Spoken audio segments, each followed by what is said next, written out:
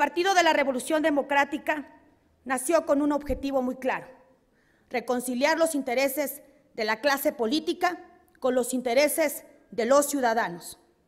Por eso estamos convencidos de que debemos recuperar nuestro papel de oposición.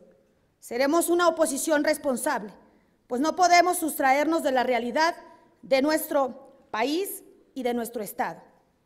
Nosotros sabremos hacer nuestra parte, sabremos exigir al gobierno para que actúe siempre con base en la legalidad y en el bienestar de los hidalguenses. Que quede claro, nosotros no seremos cómplices de ninguna acción que vaya en contra del pueblo, ni a favor de unos cuantos.